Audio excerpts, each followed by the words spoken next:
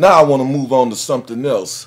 But first, I want you to understand one thing. Now, if I offend anybody out there with my language, if I offend anybody out there watching and you got your children, you ain't monitoring what they're watching, it ain't my fault. You understand what I'm saying? I've been in the wrestling business going on 30 years, and this is the way we talk. I don't tone it down. I don't lighten it up. Even my girlfriend sometimes. Well, why are you yelling? Why are you screaming at me? Why are you cussing? It's just the way I talk. I'm like a sailor. I use a lot of profanity, so if you don't like it, cut the off right now and tune in and watch Disney Channel or something. Because right now, you're watching Brick House TV and you're going to get the told like it's supposed to be told and how it's supposed to be told with conviction.